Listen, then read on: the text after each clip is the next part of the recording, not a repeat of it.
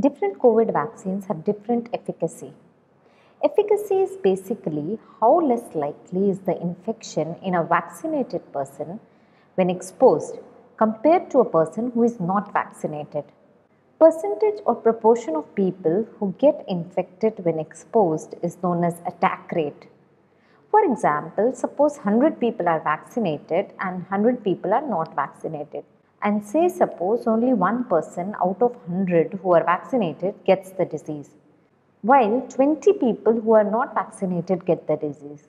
So we say attack rate in vaccinated group is number of people infected divided by total number of people vaccinated. So in this case it will be 1 by 100 while that in non-vaccinated group is number of people infected divided by number of total non-vaccinated people. So it will be 20 by 100.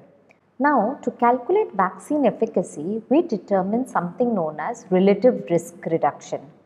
This is basically a ratio of attack rates in people with and without the vaccine.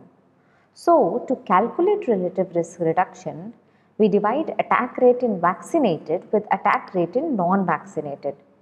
So in our case it will be 1 by 100 divided by 20 by 100. So this comes to 1 by 20. That means a vaccinated person is 20 times less likely to get the disease when exposed. Now from this relative risk reduction we calculate vaccine efficacy by this formula. 100 into 1 minus attack rate in vaccinated divided by attack rate in non-vaccinated group which can also be written as 100 into attack rate in unvaccinated minus attack rate in vaccinated divided by attack rate in unvaccinated. So this value we know is 20 minus 1. So in calculation it will come to 100 into 19 by 20 that is the 5 into 19 is equal to 95 percent. So that's how we calculate vaccine efficacy. Now for COVID, we have uh, different vaccines with different efficacy and all of them have been approved. This table shows various approved uh, COVID-19 vaccines and their efficacy. Pfizer has an efficacy of 95%, uh, Moderna an efficacy of 94%, Sputnik V of 90% uh, while uh, Johnson & Johnson and AstraZeneca Covishield have an efficacy of 67%. There are various factors which affect the efficacy of vaccines. That is a subject of another video perhaps. However, I have a question that how come these vaccines uh, which uh, differ from each other so much on efficacy, all of them have been approved so why it has been done like that, uh, that even vaccines with lower efficacy have been approved?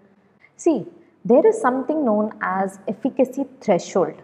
That means an upper limit of efficacy which the vaccine should have to get it approved. This depends on the disease.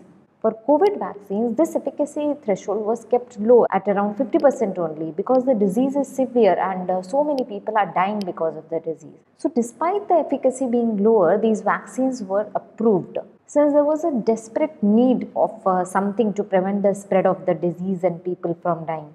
So it was still worth using vaccines of lower efficacy. Second thing also important was uh, that if only one vaccine with higher efficacy was approved, uh, then uh, maybe the production time would be limited. Then there would be only one formula by which vaccine is being produced. So it would be difficult to distribute to so many countries across the world. So that's the reason that why vaccines with different efficacies have been approved. Well, Thanks for watching the video. If you liked it, do press the like button, share the video with others and don't forget to subscribe to the channel Physiology Open. Thank you.